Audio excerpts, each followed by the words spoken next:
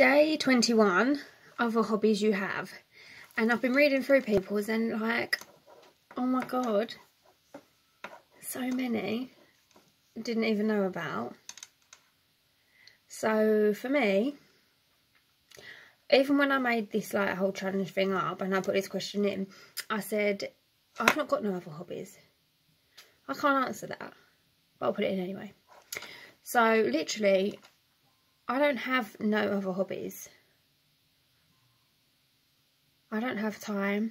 Like normally as well, I'd be at work and it'd be work, stables, work, stables, work, stables, work, stables, you know. And then on the weekends, obviously, I'd just be at stables. So,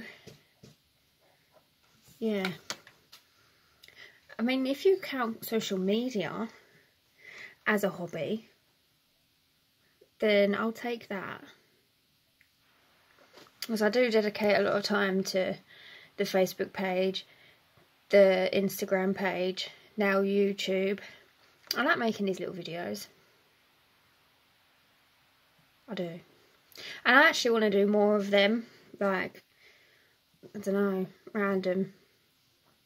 Random. What do people want to see?